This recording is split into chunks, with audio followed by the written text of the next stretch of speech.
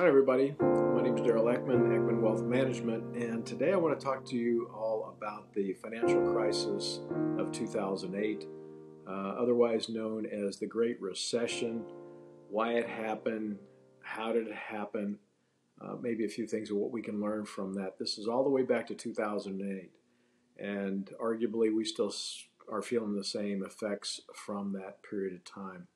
Uh, so it goes all the way back to the Clinton administration. Uh, there's plenty of blame to go around, but the Clinton administration wanted to increase owner occupancy uh, of houses in this uh, country from 60% to 70%. So uh, the housing lending laws were relaxed during that period of time. People were uh, applying for mortgages to qualify with just stated income, which means whatever they put down on their mortgage applications through a mortgage lender, uh, they would just put down whatever they um, thought they could sort of get away with. I hate to put it that way, but there was a lot of uh, falsification or exaggeration of income. And that at that time uh, was not uh, caught. Uh, it wasn't verified, so just stated income. Didn't have to supply 1099s or anything like that. That coupled with low interest rates, uh, I think really hastened uh, the real estate market. It started to inflate, and we had what was called subprime loans. And that was for people that had poor credit and they were trying to get a house, and so the banks would charge a little higher interest rate. And even though the people were, um, I guess, um, there was more risk involved that they would default. So that happened, and it just started to set this thing in motion. Uh, fast forwarding to the Bush administration, and this was not corrected during the Bush, Bush administration things were kind of kept pretty much as is. Things were going well. We had an economic boom from uh, 2000, uh, well, I, I, would say all the way up to 2008, there was this great incline. You saw housing prices going up by large single digits and in some years double digits. And so you had these uh, very low interest rates and things were just going great. Well, there, there was a bump in the road that hit. Eventually, that was going to have uh, an impact that just absolutely rippled through the entire financial system because real estate is so much involved with so many things in the overall financial system. And it came um, out of the borders of this country into, well, it was already be, being done. Same kind of thing replica- replicated in other countries. And so it went through the entire banking system.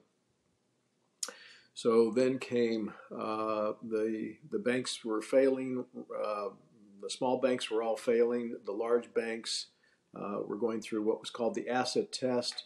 Uh, the Fed, the the uh, banking system, or the, the bank regulators were shutting down the small banks, and there was a huge bailout in the big banks.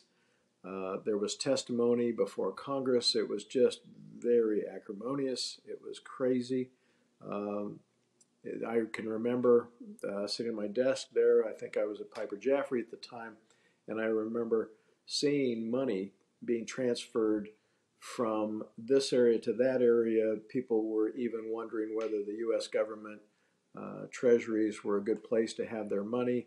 Uh, it was going into gold for a few days. It was it was really quite maddening, and it was really actually as a financial advisor at my level, and I would say even up the chain, there were a number of people that were just scratching their head trying to figure out what was going on. I was a Secretary of Treasury under George Bush. The Bush administration went to Harry Reid, Nancy Pelosi, and uh, he was asking for, I believe, it was the figure was 800 billion for the bailout. Uh, and then there was uh, uh, another something like 700 billion that was reduced to 475 billion uh, that was later added to that. I think it might have been the premier, the, the, the, beginning of the Obama administration. So we had this this issue that was going on. It continued on. Um, there was um, nobody was buying any homes at that time. There were only selling going on. The banks were pulling in their uh, their lending practices, and you had bank examiners actually sitting right next to the loan officers. What little activity that was going on in the bank uh, banking the bank examiners were really in, not in the business of making loans, and their job was really to uh, not make a loan, actually finding a ways that they wouldn't be. So we had the stock market that corrected to the point where we saw uh, 40 and 50 percent retraction of the major indices, and bank stocks were down uh, 80 percent. Um, it was just mayhem. We saw failures in Freddie Mac, uh, Fannie Mae, which are quasi governmental agencies. Uh, we saw Lehman fold, Lehman Brothers, AIG. Uh, it was just very not pretty. And so uh, that's the Fed started what was called quantitative easing at that time.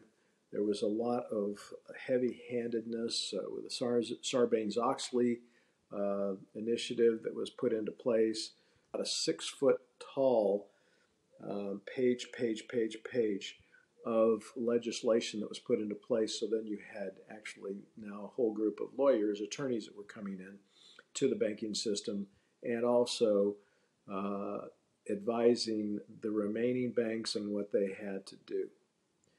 So um, I'm going to stop there and just lead you to your own conclusions on how that was. In fact, I probably will do a, a, uh, a follow up on this at some point in time and talk about uh, how we have been, we have worked our way out of it, but there still is some remnants of the financial crisis of 2008.